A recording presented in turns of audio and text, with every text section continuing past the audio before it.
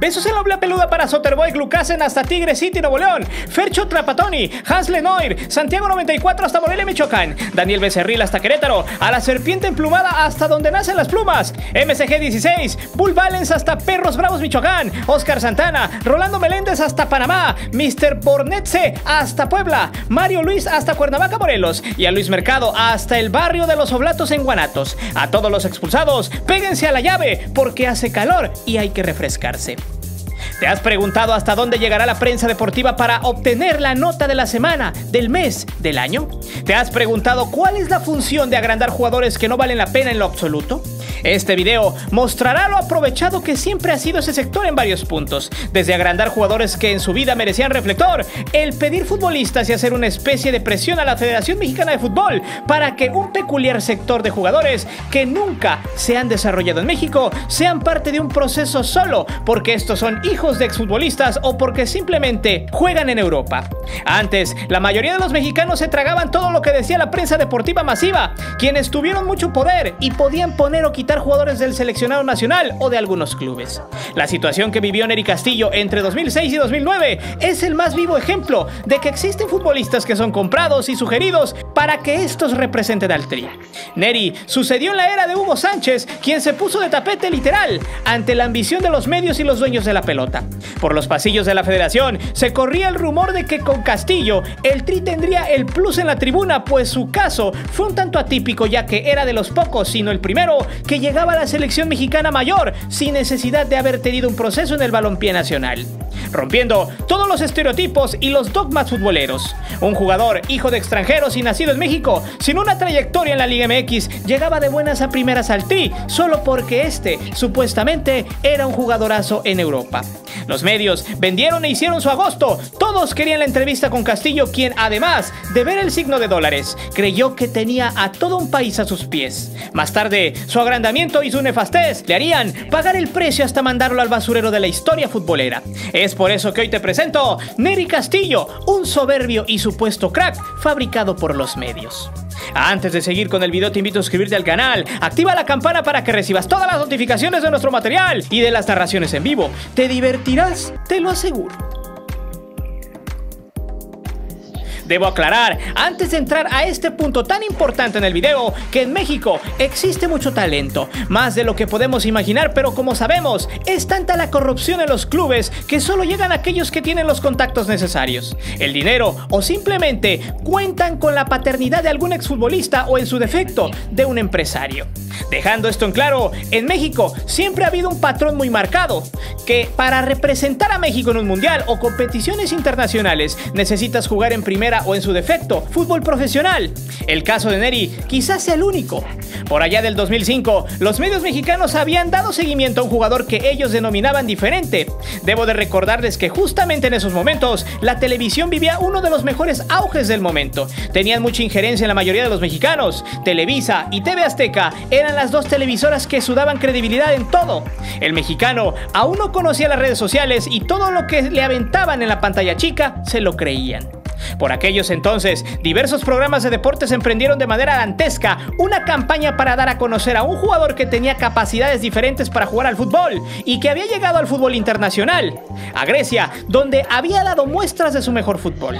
Justamente en ese año, una selección sub-17 se coronaba campeona del mundo en Perú por primera vez en su historia, y en ese combinado también estaba un jugador que nunca se formó en la Liga MX, pero ya lo consideraban un crack.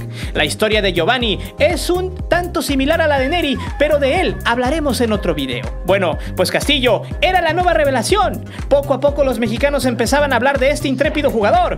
Y obvio, las televisoras solo mostraban lo mejor del joven Neri Castillo, quien se sabía había nacido en San Luis Potosí y era hijo de un exfutbolista uruguayo llamado Neri Castillo Farías, que jugó para el Toluca, el Atlético Potosino y la Jaiba Brava a finales de los 70s y 80s. Neri se había hecho en las filas del Danubio a los 16 años y desde ahí se supo que sería un producto de pues tenía habilidad y se decía que pronto, en algún momento, se decantaría por los sudamericanos.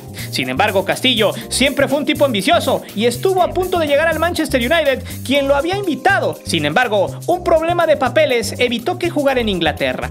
Fue en el 2001 cuando Neri se logró mover a Grecia con el Olympiacos, donde se le abrieron las puertas y se mantuvo por seis años. Castillo salió a la luz y rápido, los medios mexicanos comandados por Televisa hicieron una campaña única. En todos lados lo mostraban y hablaban de él. Así, empezaron a presionar para que este futbolista se integrara al Tri, pero este ya había dicho que no quería jugar con México, que no le interesaba. En 2006 ya eran tres países los que se peleaban por convencerle. Uruguay, quien no había ofrecido dinero sino calidad futbolística. Grecia había puesto alrededor de 600 mil euros. Y México le había puesto sobre la mesa casi el doble de la propuesta griega. Pero aunque nunca se comprobó, el rumor de que había llegado al tri por dinero era casi evidente. El futbolista estaba en una encrucijada, aunque con unos dólares la decisión era más que obvia.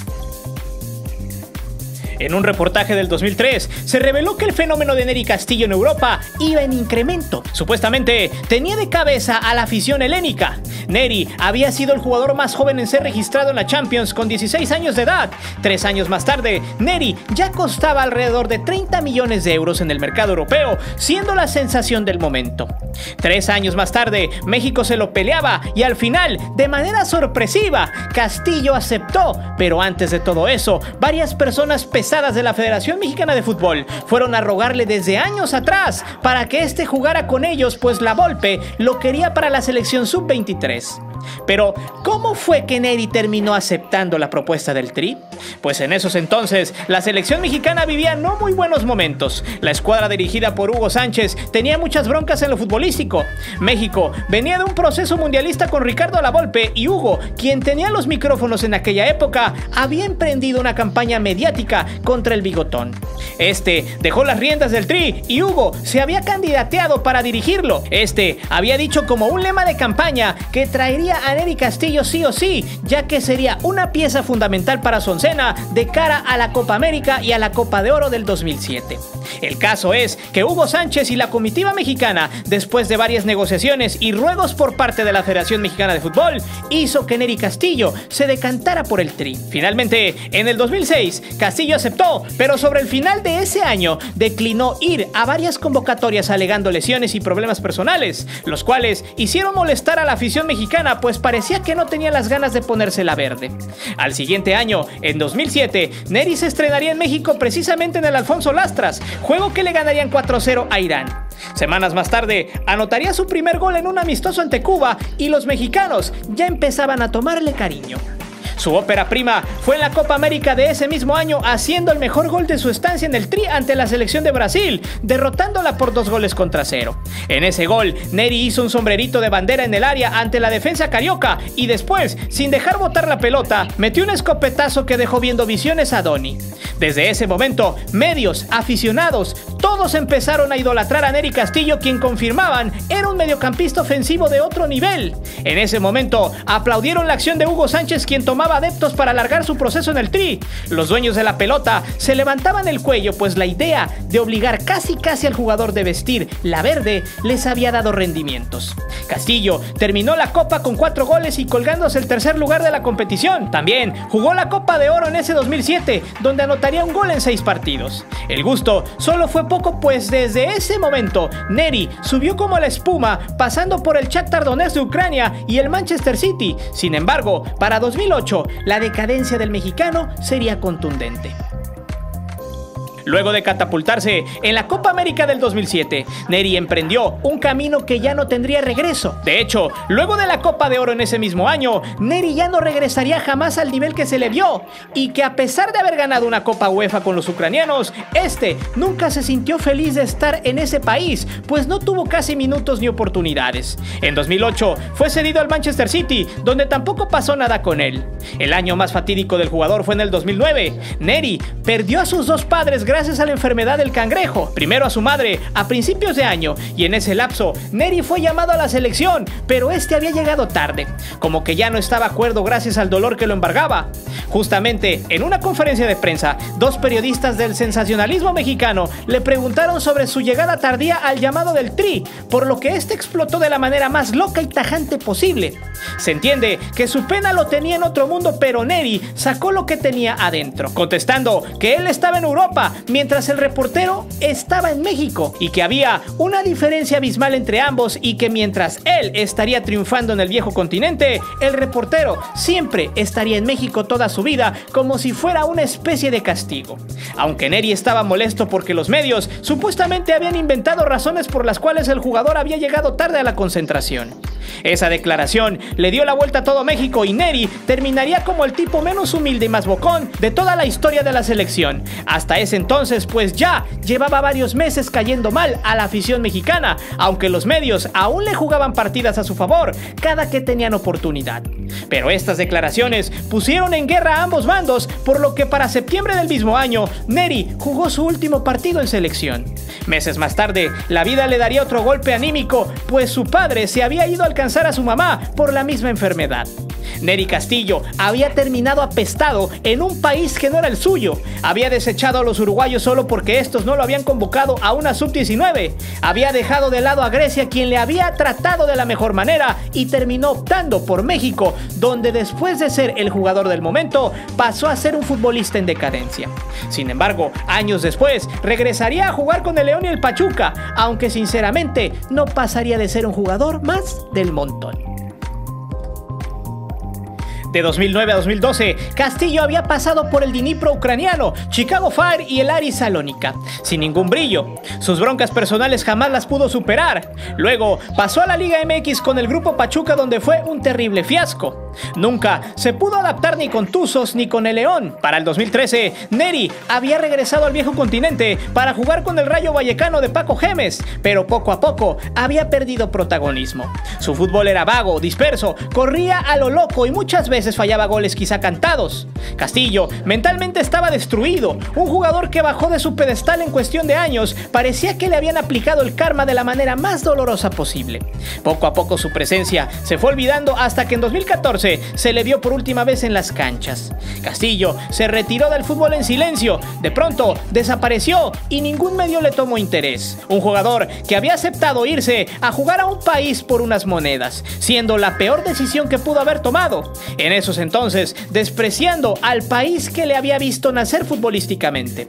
Los karmas aparecieron y pusieron a Neri en su lugar. Mientras tanto, los medios mexicanos, quienes lo habían alabado y encumbrado por mucho tiempo, estos lo terminaron por sepultar en el olvido, haciendo valer su condición. Los medios quitan y ponen jugadores y también tienen el poder de destruirlos. Es un ciclo que se juega año con año y que tristemente nadie puede detener. Años más tarde, se sabría que Neri había dado un giro de 180 grados en su vida. Se le había captado en Grecia pescando. Este ya tenía un ambicioso negocio de pesca llamado Neris Fishing, del cual vive y disfruta. Es así como un jugador de fútbol termina oxidado por sus malas decisiones y por el agrandamiento de los medios. Quizá si Neri hubiera decidido lo que su corazón dictaba, hubiera hecho una mejor historia en Grecia. Pero muchas veces el dinero es el que manda y es el que da y también quita.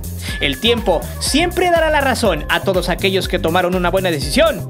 Por ahora es el vivo ejemplo de una carrera efímera que rondó más en el escándalo y en los fracasos. Y sí, Neri sigue estando Europa cargando un fracaso de lo que algún día pudo ser. Es por eso que yo te pregunto, ¿qué crees que hubiera sucedido con Castillo si hubiera jugado con las otras selecciones y no con México? Deja tus respuestas aquí abajo. Recuerda que aquí leemos todos los comentarios y no olvides suscribirte al canal y de activar la campana de notificaciones. Mi nombre es Guillermo Antonio. Nos vemos. Hasta la próxima.